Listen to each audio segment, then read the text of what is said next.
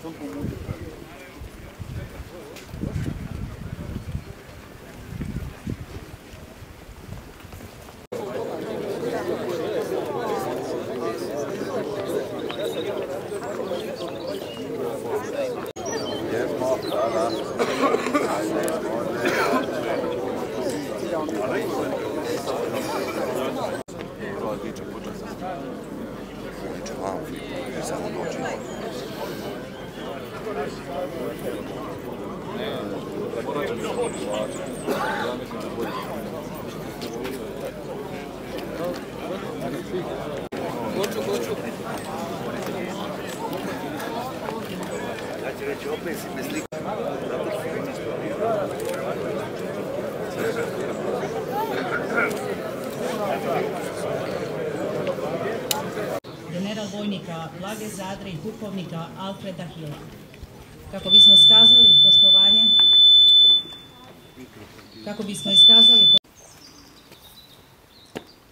Za polaganje vijenca svečanim korakom. Stup, maj!